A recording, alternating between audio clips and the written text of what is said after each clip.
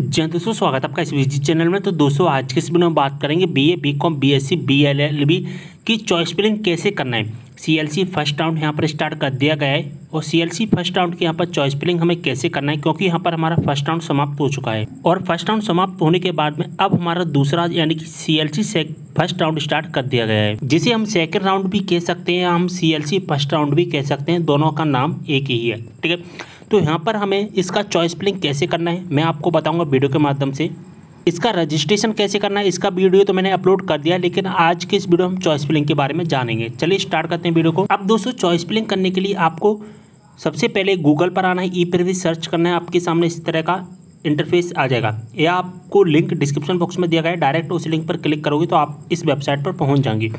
यहाँ पर under graduate का एक लिंक दिखाई देगा। इस लिंक में आपको एक चॉइस फिलिंग का लिंक दिखाई देगा। जैसा कि देख पा रहे हैं, इस चॉइस फिलिंग वाले लिंक पर हमें क्लिक कर देना चलिए यहाँ पर हम क्लिक कर देते हैं। इसके बाद हमारे सामने इस तरह का इंटरफेस आ जाएगा। अब दोस्तों, यहाँ पर एक चॉइस फिलिंग का लिंक हमें दिखाई देगा। जैसा कि देख पा रहे हैं, यहाँ पर choice filling only registered candidate जो कि उन्नीस जून को ही लिंक एक्टिवेट किया गया है। सत्ताईस जून तक एक्टिवेट रहने वाला है। तो सत्ताईस जून तक यहाँ पर आप चॉइस फिलिंग कर पाएँगे। चॉइस फिलिंग केवल उन्हीं स्टूडेंट को करना है करना है जिन्होंने रजिस्ट्रेशन कर लिया। अगर आपने रजिस्ट्रेशन नहीं किया है तो आप चॉइस फिलिंग नहीं कर पाएँगे, ठीक है? तो चॉइस फिलिंग करने के लिए आपको सबसे पहले रजिस्ट्रेशन करना होगा। रजिस्ट्रेशन कैसे करना है, इसका वीडियो मैंने कंप्लीट बना दिया है, ठीक है? और दोस्तों चॉइस फिलिंग उन स्टूडेंट को भी करना है जिन्होंने फ़र्स्ट राउंड में चॉइस फिलिंग कर ली थी। उनका किसी भी कॉलेज में नाम नहीं आया है, उन्हें चॉइस फिलिंग करना है।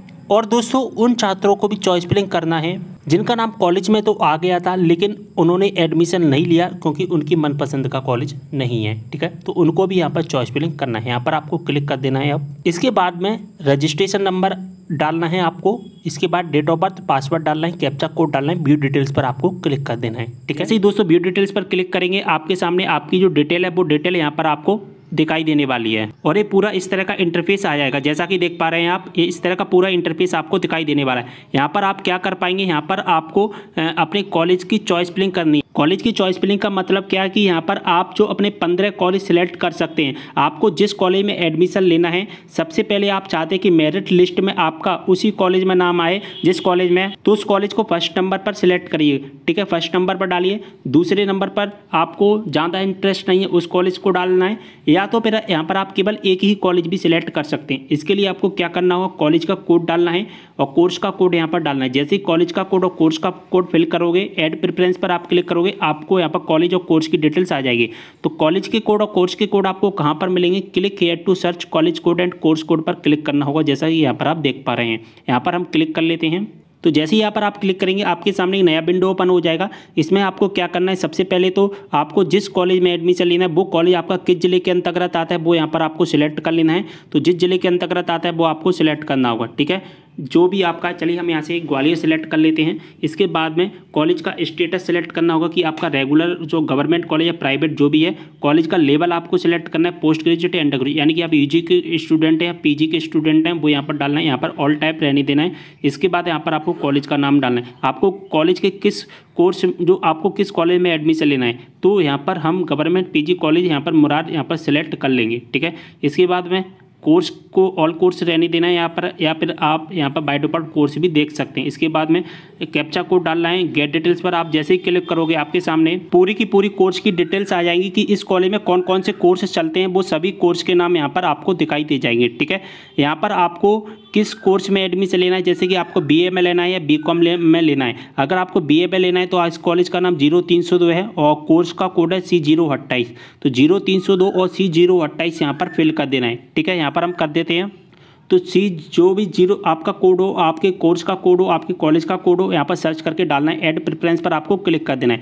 जैसे ही ऐड प्रेफरेंस पर आप क्लिक करोगे, आपके सामने पूरा कोर्स का डिटेल आ जाएगा। जैसा कि देख पा रहे हैं, इस कॉलेज का नाम और कोर्स का नाम यहाँ पर आपको दिखाई दे जाएगा, ठीक है?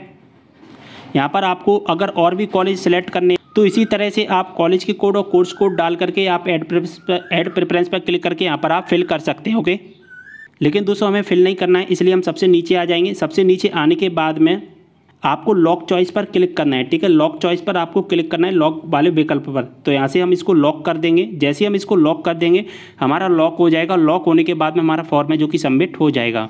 फॉर्म कंप्लीट होने के बाद चॉइस फिलिंग कंप्लीट होने के बाद इस तरह का इंटरफेस आ जाएगा। जैसा कि देख पा रहे हैं, यहाँ पर आपका नाम वगैरह, ये सभी चीज़ें तो बाई डिफ़ॉल्ट दिखाई देने वाली हैं।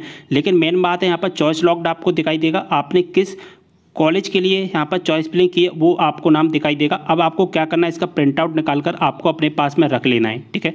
उम्मीद कर रहा हूँ पूरी इन्फॉर्मेशन अच्छे से समझ में आ गई होगी। वीडियो को शेयर कर देना। मिलते अगले वीडियो में एक और जानकारी के साथ। तब तक लिए बाय और साथ ही एक छोटी सी इन्फॉर्मेशन अगर आपको कोई भी डाउट हो, आप इंस्टाग्राम पर फॉलो कर लीजिए। जो भी आपके डाउट है इंस्टाग्राम पर मैसेज के द्वारा पूछ सकते हैं। लिंक आपको डिस्क्रिप्शन बॉक्स में मिल जाएगा। मिलते अगली वीडियो में एक और जानकारी के साथ। तब तक लिए बाय